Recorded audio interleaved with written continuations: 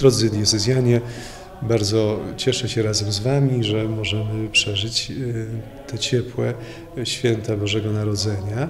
E, chciałbym życzyć tego, abyśmy budowali wszędzie mm, Betlejem E, miejsce, gdzie można spotkać się z Bogiem i z drugim człowiekiem.